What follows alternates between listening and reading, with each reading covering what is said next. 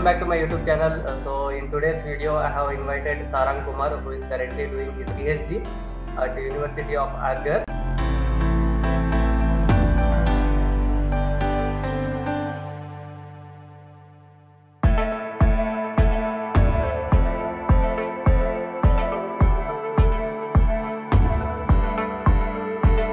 He his uh, masters from IIIT DM.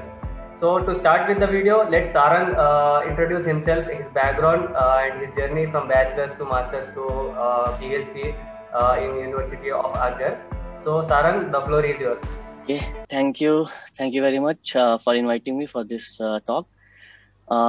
So yeah, I'll start from my master's degree. Basically, I did my master's in wireless communication in communication systems.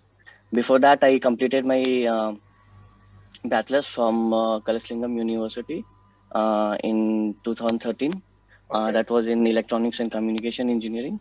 So I cleared gate and then I got uh, admission at at IIIT DM Hmm. um, in 2015. And uh, then, yeah, I worked under uh, Dr. Selvaraj for my uh, master's project. And uh, yeah, after that, uh, um, I tried, uh, means like for research, I was like interested in uh, R&D from long time. So uh, in my mind, back in my mind, it was there that I have to do my uh, PhD but uh, I was not sure that I will do from India or from where. After that, uh, my masters have been completed. I joined uh, uh, Vignan University, that's a deemed university uh, in Guntur, Andhra Yeah. Pradesh, as an assistant professor for one and a half year. So I taught uh, in their sister sister uh, uh, institute. It's called uh, Vignan's Lara Institute of uh, Science and Technology. Okay. So I taught there for two years, uh, one and a half year, and uh, then uh, while teaching there, I realized that okay, yeah, I want to do uh, PhD from abroad. So that was uh, the time when I started applying uh, all the places. Yep, I got like uh, three, four offers uh, from different university, but then at the end I uh, chose uh, Norway uh, because of my supervisor. The supervisor under whom I am working here is like very, uh, very nice guy and uh, very friendly, and he supports uh, a lot. So yeah, so and uh, his uh, international reputation and his experience is very vast. So that's why I uh, joined here. So what was your uh, admission procedure there for PhD? Ah, yeah. So basically, um, first I'll talk about uh, what is the uh, admission process in Norway, Yeah. and then I'll talk about like okay how it happens uh, it, uh, at UIA at University of Agder. Okay. So basically, basically, uh, if you see the PhD PhD degrees from all over the world, here is different.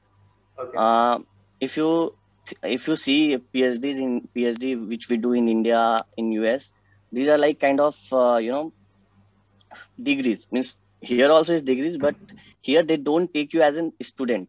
They consider you as an employee. okay.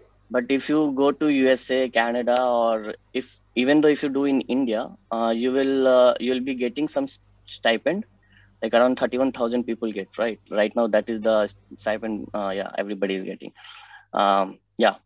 Otherwise, if you don't have Visvesvaraya scholarship, for Visvesvaraya scholarship, you'll get uh, more than 30 31,000. So, uh, so here, uh, this PhD is a research job.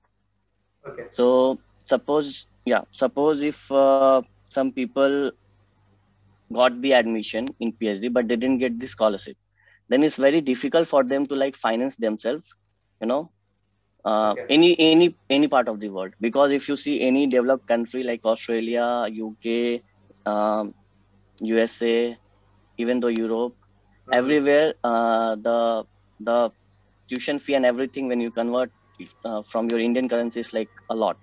So if you're not getting scholarship then it's like very difficult for you to like uh, finance yourself. Yeah yes. and uh, that that too i'm only talking about tuition fee. Then after that you have like accommodation then uh, you have living expenses. So a lot of things are there. So everything will like um, will will be like a burden you know if you'll not get a scholarship Yes. so that was one of the good thing which i found out in some of the countries here in europe like norway Mhm. and um, denmark so these countries don't uh, consider you as a phd student they consider you as a researcher Yes, sir. So I'm so that is the main difference between PhD at Norway and PhDs at other places. Yeah, it will You are getting basically you a be salary involved in uh, research assistant or like uh, research, teaching assistant. No, no, nothing, nothing. You are you no, no, nothing. You are doing your PhD, PhD only. You're doing your uh, research only, which you you you uh, which you have signed for, but Mhm. you are here for three year of contract.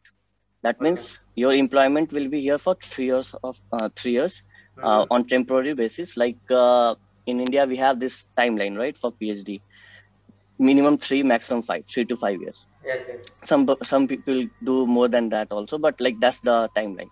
Mhm. But uh, here uh, it's like a contract basis because you're getting a salary Mhm. per month. You're getting a salary. There is no Mhm. stipend, and the salary is like very good. It's a Mhm. very good. That means uh, uh, you'll not get that much uh, salary in India after having ten years of experience also.